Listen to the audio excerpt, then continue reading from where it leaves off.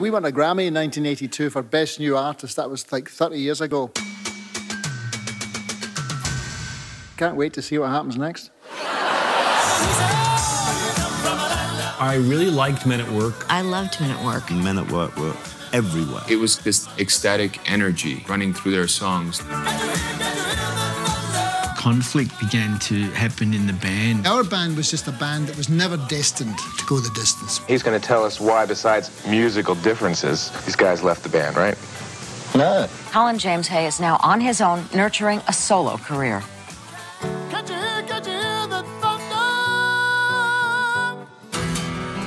Just be aware of what may happen if you aren't men at work anymore. I kept on making wrong moves. You're the same performer, you have the same talent, but nobody cares. That is a hard slog. I was drinking a lot, doing lots of drugs. This is everything he'd built shattering in front of him. I didn't really know what to do with myself, so I thought, well, I better go out on the road.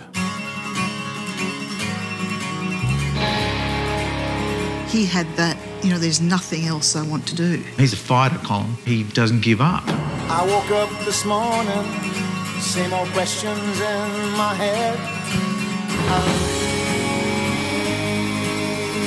the light So many people are confections, and Colin's kind of approaching it from the whole other direction of how real can I get? How much can I take this down to the essential me?